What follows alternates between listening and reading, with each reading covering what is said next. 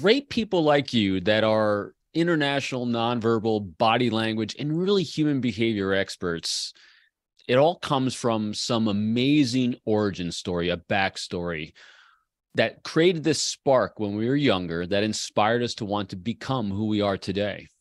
So mark what was that spark all those years ago that made you into this human behavior phenom in the world yeah, lovely. Well, look, I, am going to tell you a couple of things that I think are important. One is that when I was a little kid back in England, we used to have a lot of beach holidays because obviously England, you know, Britain is surrounded by water. We're a little island. And so a lot of holidays you go to the beach. And I used to love looking at the sea and and getting in rock pools, which are those you know pools of water that get left when the sea goes out.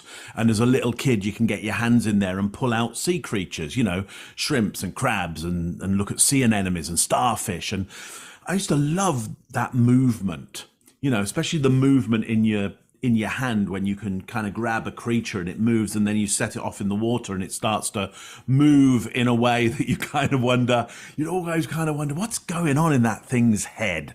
Not that not that actually some of those animals have much of a, a head at all but I, I got fascinated by the movement in water. I was also massively a fan of jacques cousteau's undersea world. Yeah you're nodding your head. In fact i, I have the ploprof watch that he made oh, famous. Yeah, so so you know, I was massively into that into that undersea world, exploration, animals, how they move, and what and what are they thinking? Some of them, you know, frankly, weren't thinking anything. And from that, just thought, you know, but what about human beings? And, and how are we thinking? And how are we moving? So movement and thought got kind of shoved together at a very early age of curiosity and fascination.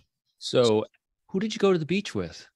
Oh, mum and dad and my sister. And, and later on, I had another brother and, and, and sister who were born a lot later. Same mum and dad, but just born my sister 10 years after me.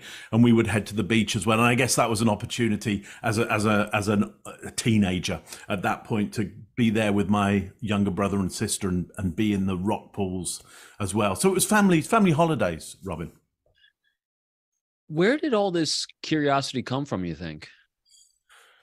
You know there was a british culture i think of of the outdoors you know and and the sea. We're a seafaring nation because we're so small. It's like right. got to go and find some other country and invade it and find out what's there you know. So so so there's there's a culture. There was also a culture of natural history television and, and learning from television. You know, kids like me, we, we watched TV and we learned from TV. So when you think about it, you know, over here I've got Desmond Morris's Man Watching, which you which is now People Watching, and you probably know it quite well. And uh, uh, and that started off as a TV series in the 1970s, and so you know that developed my thought of you know you can really think carefully about human beings and groups of human beings and why they do what they do and uncover that from their movement from their behavior. And and and, and i was just fascinated by that understanding people better because people are confusing